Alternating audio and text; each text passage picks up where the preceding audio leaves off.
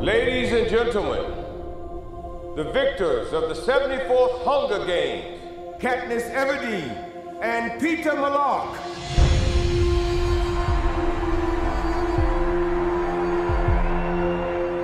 She's not who they think she is. She just wants to save her skin. Simple as that. She has become a beacon of hope for them. So she has to be eliminated. What do you think? I agree she should die, but in the right way, at the right time. Katniss Everdeen is a symbol. We don't have to destroy her, just her image. Show them that she is one of us now. Let them rally behind that.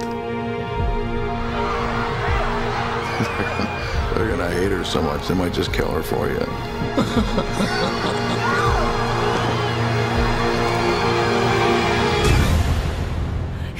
please, please just help me get through this trip. This trip doesn't end when you get back home. So what do we do? From now on, your job is to be a distraction so people forget what the real problems are.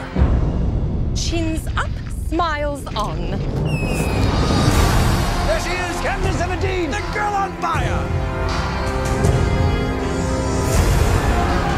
People are looking at you, Katniss. You've given them an opportunity. They just have to be brave enough to take it. You saved my life. You gave me a chance. Yes, to live. No, to do something. We have to go, Gale, before they kill us. They will kill us.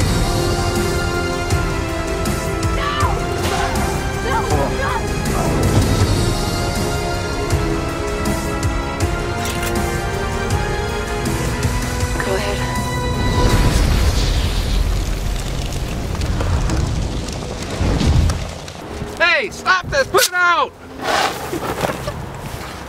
Yeah, look at that. Now you, I really got rid of it.